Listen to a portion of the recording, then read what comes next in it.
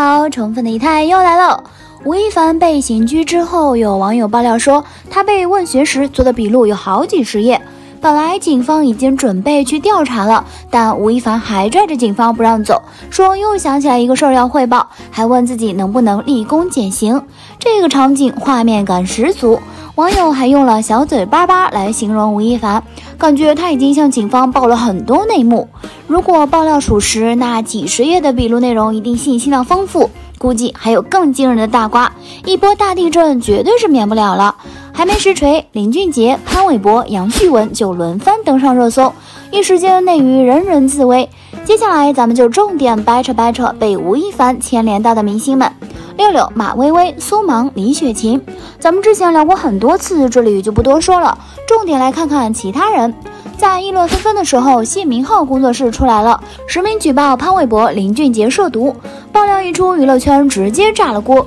各路吃瓜群众纷纷赶来围观。本来前天网上就已经展开了激烈的讨论，关于潘玮柏以及林俊杰涉毒的真实性，这下来了一个艺人直接实名举报，不等于证实了？在大家吃瓜之余，潘玮柏工作室发布律师声明，表示相关网络用户通过编造聊天记录、散布谣言，对他进行恶意的人身攻击，侵犯了他的名誉权。强调潘玮柏并未做过任何违法之事，并要求造谣者立即停止造谣，并公开致歉。潘玮柏发出律师声明后，谢明浩工作室紧接着又发文了，称要实名举报林俊杰和潘玮柏是吴亦凡的共犯。三人都有吸毒等犯罪行为，还请求警方立案调查。在声明中，谢明浩工作室提出了三点内容：一，请林俊杰、潘玮柏接受官方毛发验毒且出具报告；二，请林俊杰、潘玮柏主动向警方交代自己的犯罪事实；三，如果经警方调查，林俊杰、潘玮柏无犯罪问题，我方可承担所有法律责任。谢明浩还在声明当中呼吁媒体同仁，恳请他们能与自己一同站出来揭发两位艺人的罪行。看到谢明浩工作室口气如此之高，网友们纷纷评论：感谢感谢！现在不是林俊杰坐牢，就是你坐牢了。你应该做的就是报警。潘玮柏发表声明后，林俊杰也发出了律师函，可是网友并不相信，所以八月二日晚，林俊杰方再次发表声明，态度刚硬，不仅是涉嫌侵害名誉权，还告网友诽谤，甚至直接点名谢明浩工作室，表示要正面对质。不知道大家怎么看？反正仪态我是不确定了。现在明星只要有不好的新闻出来，第一件事情就是发表律师声明。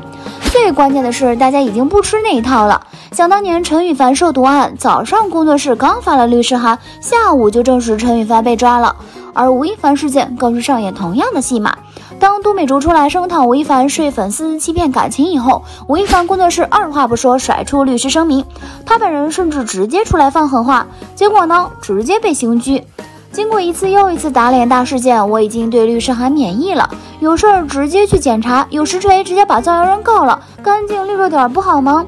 有意思的是，在很多人等待谢明浩工作室进一步爆料的时候，这个账号突然被禁言了，理由是违反了社区公约。之后，官方辟谣采访谢明浩一事上了热搜。虽说谢明浩工作室被禁言了，但同名的短视频账号以及谢明浩本人的社交账号依旧可以发布内容。就在昨天，谢明浩在直播中再次放话林俊杰和潘玮柏，他还对直播间的几万网友说：“我不知道你喜欢哪位偶像，但是我可以明确的告诉你。”你的青春结束了，他们会退圈的。这也就是说，对于这次实名举报，谢明浩是做足了充分的准备的。首先，利用工作室发文来制造热度，四次发声要实名举报林俊杰和潘玮柏吸毒，之后顺利引发了两位当事人发律师声明。账号被封后，他又通过直播的形式喊话，口口声声有实证，怎么有点都美竹锤吴亦凡那味儿了？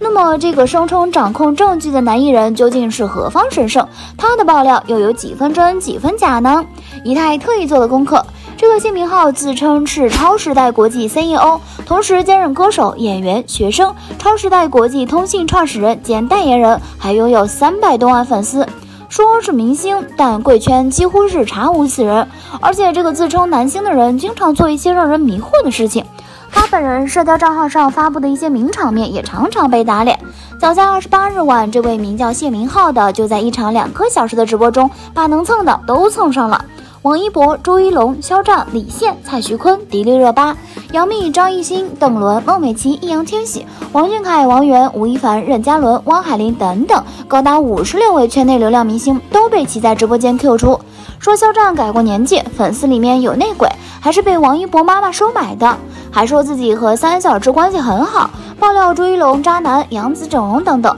感觉业内有流量的艺人全部都出现在他的直播中。网络上与谢明浩相关的新闻也主要都是以碰瓷明星为主，他的口碑在网络上几乎都是负面的，所以这一次他连续两天发布动态实名举报林俊杰、潘玮柏，反倒让人不确定了。不知道他是浑水摸鱼蹭热度，还是真的有锤。如果是造谣，潘玮柏、林俊杰绝对会对造谣者进行起诉，用法律维权。当然，如果他真的有证据，我们也要耐心等等官方的证明。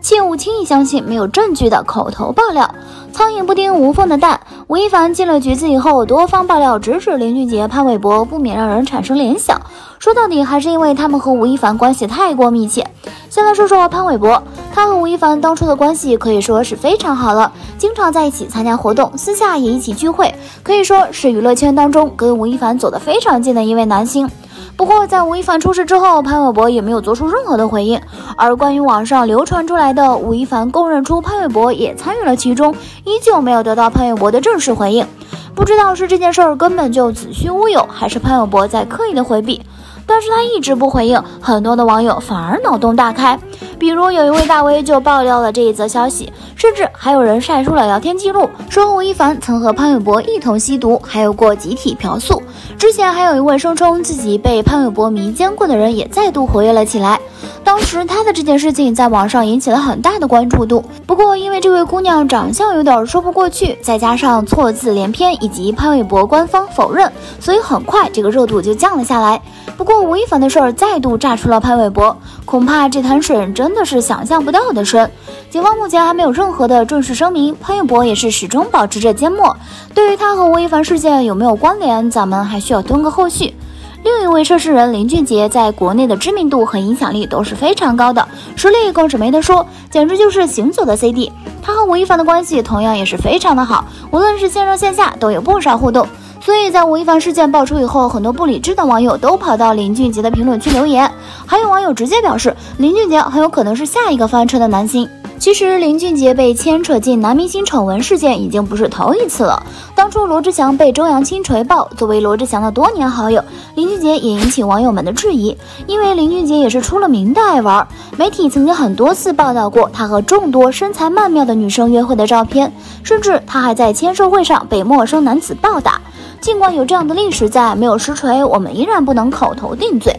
除了呼声最高的这两位，一位名叫杨旭文的小生也被扒了出来，而且还是一件陈年旧案。一七年十月十六日，二十六岁女性任娇坠楼身亡，被发现时衣不蔽体，而当晚在酒店房间的男星则是杨旭文。男方被带走调查近两个月后，任娇经纪人公开回应死因，称女方是意外坠楼，与任何人无关。二零一七年十二月，任娇去世，再被曝大量内幕，有视频指出，在女方出事前，杨旭文曾深夜强撩。人交还抢其手机，杨旭文方则再次发声明回应，称爆料大量事实，已与女方家人私下和解。尽管已经过去四年，网上对于此事的来龙去脉依旧一直争论不休，而吴亦凡事发就像引线被点燃，其中到底有什么隐情，我们还是坐等调查吧。虽然早就知道吴亦凡的事情肯定不会只有他一个人，牵扯出一些其他的艺人或者明星也都会是比较正常的事儿，但是具体会牵扯出来哪些人，他们扯上的又是什么事儿，